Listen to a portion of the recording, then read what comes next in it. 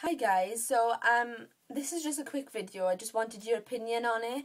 Um but I know I didn't have my hair cut that long ago, but I really really love Katie's new hair. And I know I would never I mean Katie of the X Factor if you didn't know like and if you don't know if who she is because you don't watch X Factor or you're from America or something, just type in on Google like Katie Waissel. It's Katie then W A I S E L I think. But it's she's got like short hair now. She's like brown short hair.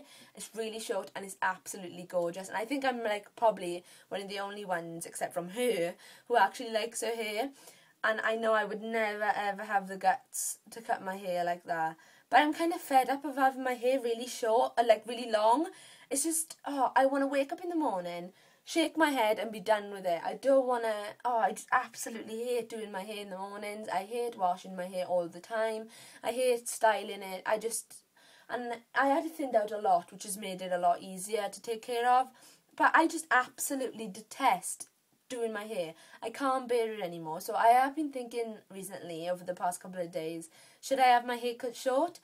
And I know because you watch me and you like kind of go back on my videos and look at my hair. And I know that there's probably a lot more professional people out there who can help me with this one. But what can I do with my hair, guys? What can I do with my hair? It's up to you.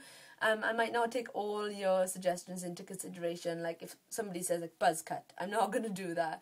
But I don't think short hair like Katie Waissel's would suit me. So I don't think I would ever go that short unless I I don't know. I don't know. I just don't have the guts to go that short. Um, I would love to though. Um, a bob. I wouldn't mind having a really choppy, like shortish bob, with like longer bits in the front and like I don't know, really choppy, like scruffy, scruffy bob. Like as you can see, my hair is never really neat as it is. It's always scruffy and mad. So um, I just don't think I like my hair this length. Um, and I, oh, I just hate having long hair. I just hate styling it and stuff.